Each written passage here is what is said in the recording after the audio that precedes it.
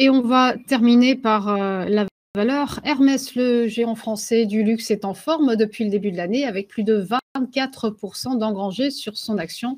C'est l'homme qui va bien du secteur du luxe. Exactement, c'est exactement ça. C'est vraiment la valeur euh, qui va bien. C'est la valeur qui coûte le plus cher aussi, euh, avec des PER supérieurs à 50-60 quand même. Donc c'est plus que significatif.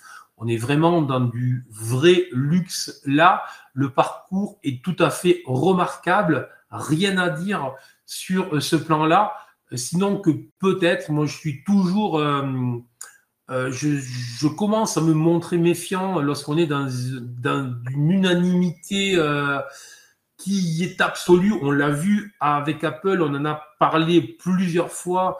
j'ai mis en fait en garde plusieurs fois sur Apple qui était en train de changer euh, de statut et on le voit. Alors je ne dis pas que ça va être le cas pour euh, les prochaines semaines, pour euh, les prochains mois. Je dis juste que ça va très fort, très vite, que peut-être il va être temps de se montrer prudent sur la valeur. Dans tous les cas, je ne pense pas que ce soit des niveaux sur lesquels on puisse rentrer. Je pense qu'il faudrait des replis, qu'il faudrait au moins avoir un repli avec des baisses significatives de 7 8%, peut-être aux alentours des 2200, qui serait sûrement un niveau sur lequel on pourrait envisager euh, des entrées.